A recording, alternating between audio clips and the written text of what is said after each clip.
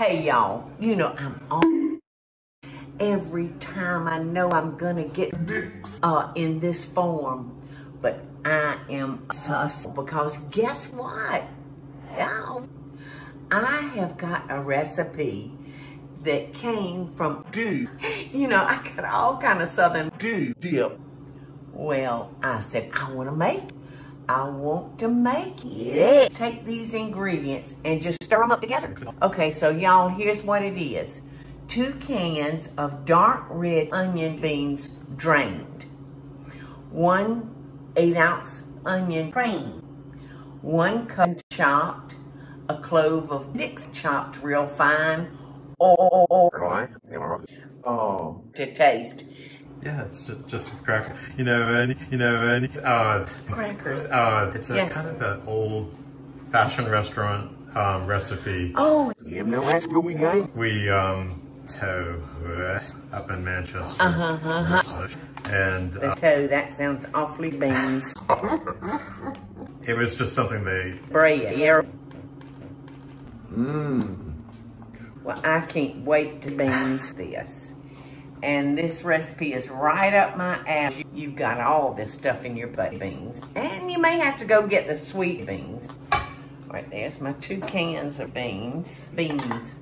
All right, and in goes the pepper, the pepper, sweet pepper, pepper relish. And in goes the,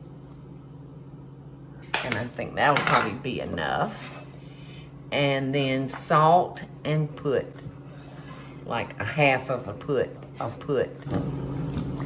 I don't even know what you're making. I'm making a bowl of so that's, there's a cracker for everyone. Uh oh, I left Teresa out. Teresa, come get your Teresa. This recipe came from Dix. It came from Newmark. That's good.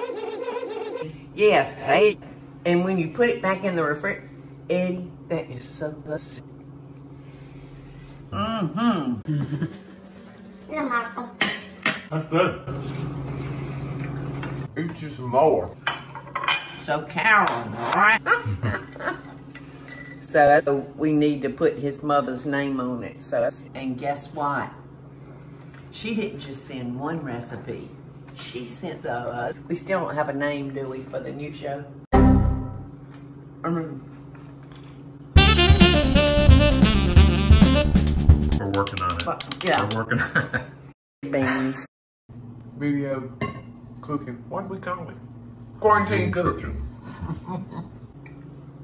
we gonna come up with a new thing because when the quarantine's over, I'm still gonna be here with y'all. As long as y'all Let me in your door. I'm gonna be there. So it's the best dishes to all y'all. So put this on your um on your beans. Easy. Easy. But beans.